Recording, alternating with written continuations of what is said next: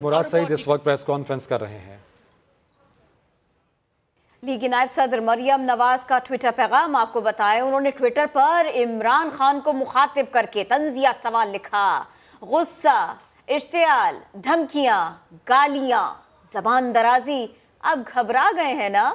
پاکستان کو تباہی اور بربادی کے گڑھے میں پھینک دیا گیا ہے۔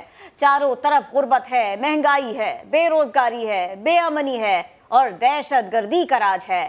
مریم نواز نے کہا، قوم آپ کی نااہلی جہالت کی بہت بڑی قیمت ادا کر چکی ہے۔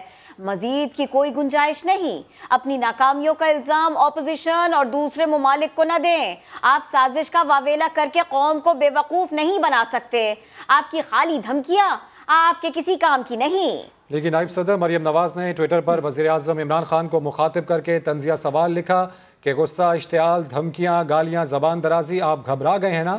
پاکستان کو تباہی اور بربادی کے گھڑے میں پھینک دیا مریم نواز، ایسا کہتے ہیں۔ تحریک عدم اعتماد، ناکام بنانے کا مشن، حکومت نے اپنے ارکان کو اپوزیشن سے دور رکھنے کی منصوبہ بندی کر لی۔ سترہ ناراض ارکان کی فہرست تیار کر لی گئی۔ چھ سے سات ناراض ارکان سے آج رابطہ کیا جائے گا۔ تفصیلات